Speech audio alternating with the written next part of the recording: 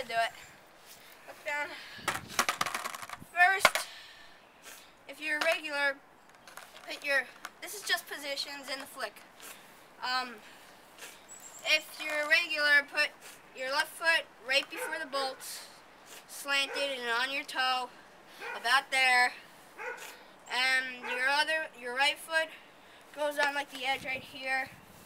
You get the flick and everything. Right at the pocket. You know how to do the flick. Right at the pocket and then flick out. Don't go too far.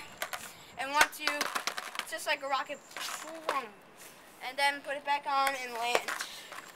Um, if you're goofy, which I'm not, you do it, turn this around, you put your right foot like this, um, right before the bolt slanted, and your left foot on the edge, and then I said, pop, give it a good flick at the pocket and bring it back. Let's try that again. Let's try the kickflip again.